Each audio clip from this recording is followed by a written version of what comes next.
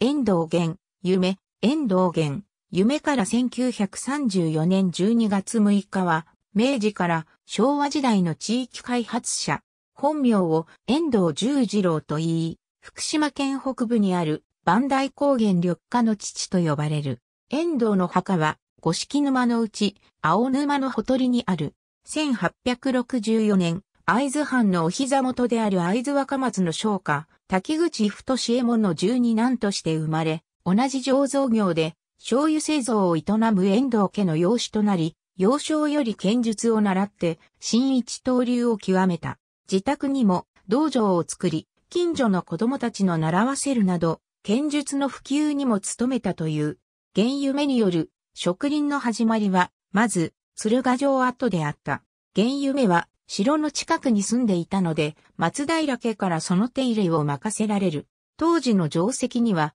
桜が、馬場以外にほとんど桜はなかったが、1908年、定石近くに陸軍不評連隊が設置された記念に、同志と共に千本に及ぶソメイヨシノを植えたのが始まりである。後に、会津若松市内の墓山と並ぶ松平家の霊廟、稲葉城町の峰山にも杉の植林を行っている。その後、1888年の磐梯山噴火に伴う膨大な岩くずなだれに覆われて、数十年間荒れ地のままだった裏、磐梯をもう一度野鳥のさえずる森に変えたいと願い、約2年をかけて、気の遠くなるような1340ヘクタールに及ぶ植林を成し遂げ、ついにはこの地の払い下げを受けた。20世紀初めといえば、日本各地でようやく幹線鉄道が開通し出したばかりである。遠藤源夢も1914年に全通したばかりの万越再選で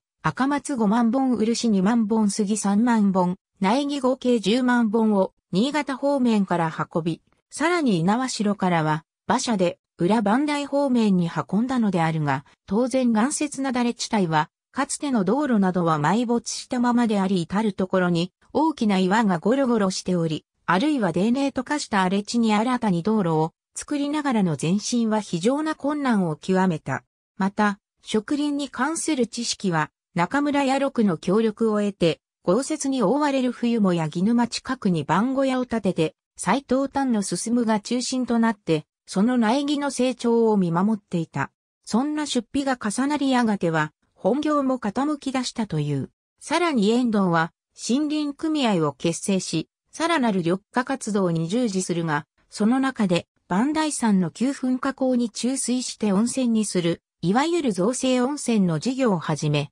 成功するもこれが組合の放棄に触れて、不評を買ってしまう。そうして、苦悶の末に病に倒れ、1934年、この世を去った。去年73、戊辰戦争当時、原夢は4歳くらいであり、戦乱で、合図の町が一面焦土と化した記憶が焼き付いていたため、自分が、裏、バンダイを緑に変えようとしたとも言われている。裏、バンダイを現在我々が緑豊かな磐梯高原として目の当たりにできるのは、この原、夢ら多くの福島県民の思いと心血を注いだ、努力があったからに他ならない。なお原、夢が生前に建てた墓碑と、磐梯山噴火で亡くなった犠牲者の慰霊碑が、五色沼のほとりに残されている。墓碑は、磐梯山噴火の折に落下した巨石の下にあり、そこに妻、幾と共に葬られ、自世の句として、中清に未かき後50年噴火思えば、